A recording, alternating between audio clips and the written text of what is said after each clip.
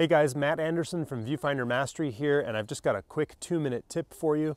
I've just come back from a trip to Norway and we were doing some filming and some photography, and maybe you can relate to this problem.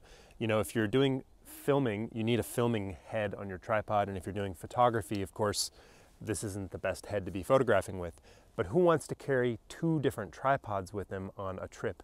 Certainly not me, and I don't want to be out there in the field screwing things together and unbolting tripod heads. So this is a little accessory that I um, found really helpful, and basically it sits underneath the tripod head and allows you to very quickly remove and replace just the head of your tripod with just one simple twist.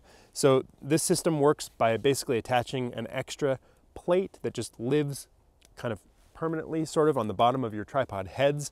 And of course, you've got one on the bottom of every head um, that you want to be able to swap in and swap out.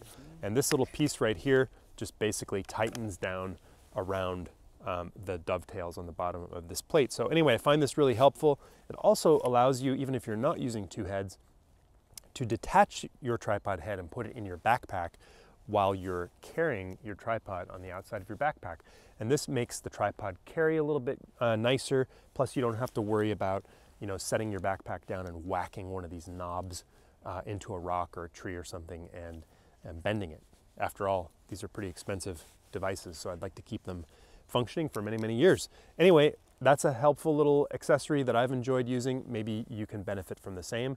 And uh, if you'd like more information about some of our gear preferences, head over to our website, viewfindermastery.com. We've got some free PDFs that you can download, uh, among them my top 10 recommended purchases guide for photographers who want to take their photography further. Thanks for watching, and we'll see you in the next video.